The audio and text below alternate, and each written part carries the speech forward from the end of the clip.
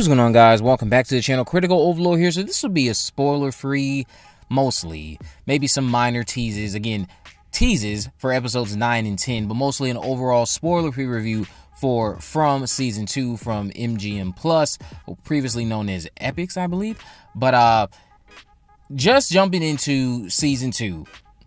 Season 2 of this show, which was from the same creators of Lost, is more or less, now that I finished it all, all 10 episodes, I would say a very significant dip in quality, so much so that I am going to only rate it a star less from the previous season, which I give an 8 out of 10. I'm just going to get that out of the way up front. I feel like in the writing department this season, we have kind of dropped the ball.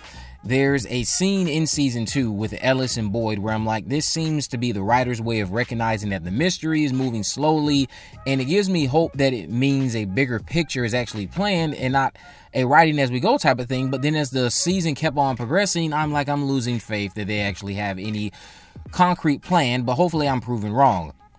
Now, that moment I'm addressing, many of you probably already know it because it happened earlier on in the season. Ellis is basically yelling at Boyd for returning to town with no answers and being at the same spot they've always been. And now that I'm done with season two, that moment just kind of rings very true for the overall season, I feel like.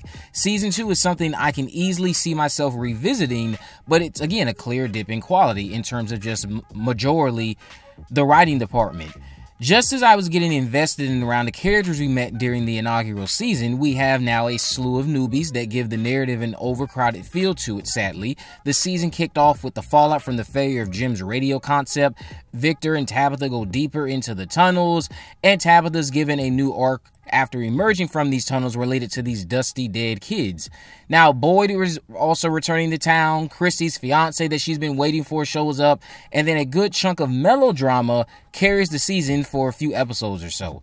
Momentum really just starts to pick up during episode 8, where we dig deeper into the character of Victor, who I believe has been here the longest. Scott McCord's acting in this episode is truly heartbreaking when considering Victor's childlike nature and the Eloise revelation that we know we all discovered. For those of you who don't know who Eloise is, that's again because this is spoiler free. You'll find that out when you watch down, or when you go and sit down, I should say, and watch from season 2. While I'm watching episode 8, I'm seeing all these meaningful conversations start to happen. The weird dreams that have been happening all season are finally addressed. And it's like, okay, why can't every season or why can't every episode be like episode 8? A slow burn that still unravels pieces of this puzzle that started being assembled back during season 1. Now, finding that balance, I think, would have kept season 2 on par with season 1, again, mostly in the writing department. Season 2 is more interested in trying to focus on developing these characters, which is a slight improvement from season 1 for their efforts, but I'm going to have to admit that the inclusion of the newbies gave the writers too much to juggle and not enough is worth investing in the same way as season 1. Everything again feels it feels overly crowded now with the ensemble that we have. I mean, even coming out of season one, going into the second season, I was intrigued to spend more time with our current residents, which the season does offer, and the time spent with them is very much appreciated, especially Donna, who I think is a standout this season. Uh, but that doesn't eliminate the fact that a focus issue exists due to the newbies who are more or less just added on dead weight to me, especially Randall, who is beyond frustrating thanks to AJ Simmons being a very talented actor However, more specifically, this character is written in a way that just makes him a problem and a distraction from our core mystery. Although I will admit his actions during episode 9 are especially bothersome, but also help create a very gripping sequence with Donna, Boyd, and Jim in the woods. Episode 9 is able to amp up the Nightmare on Elm Street vibes with all of the characters trying to protect each other from falling asleep.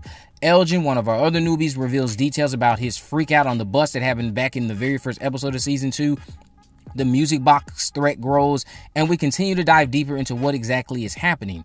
Plus, by the end of episode 9, three characters are left in critical condition, one of which has been here since the very first episode uh, from season 1. Prior to the last three episodes, though, characters just seem to be written in a way that avoids addressing any important discoveries for so long during the season.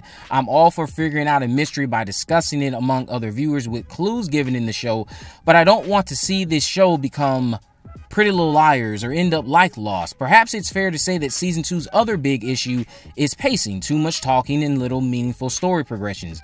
I will say that From continues to do a great job at building tension, with most of it being present during episodes 8 and 9, 8, 9, and a little bit of 10. Stand out this season for me definitely was involving Boyd's encounter with Smiley in the deten- in the detention department, the tunnel discoveries with Victor and Tabitha. The score remains eerie; it aids in heightening the stakes for certain sequences while also providing comfort during others. Uh, Harold Perrineau delivers another phenomenal performance throughout the entire season, with his work in episode 10 including some of my favorite moments for the character of Boyd.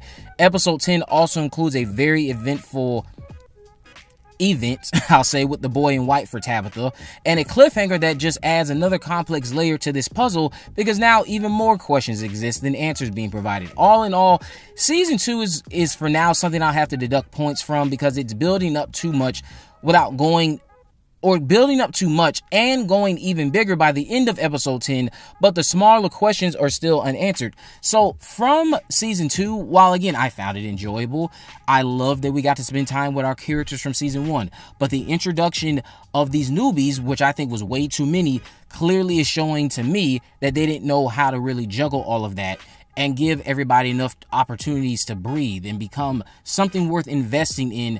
Thus, I was left with an overcrowded feeling.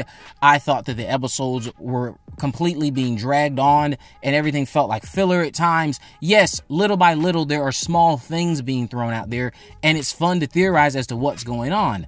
But then when all of that is crammed into the finale with a lot of exposition dumping and even still some major things that you might be expecting to have answered by the end of season two, don't expect them to be answered. They're still dragging this out and it's going to continue into season three. I'm excited to see where season three does go though, because again, this is still a very interesting concept.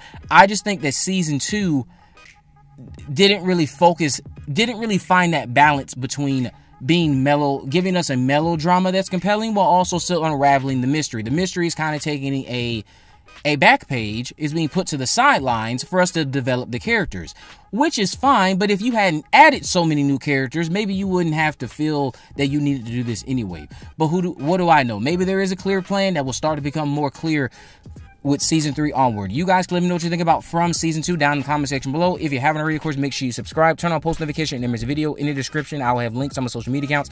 I'm on Facebook, Twitter, and Instagram. You can message me there, of course. Let me know any movies, news, or reviews I'm going to cover in the future. And with all that in mind, guys, I will see you in the next video.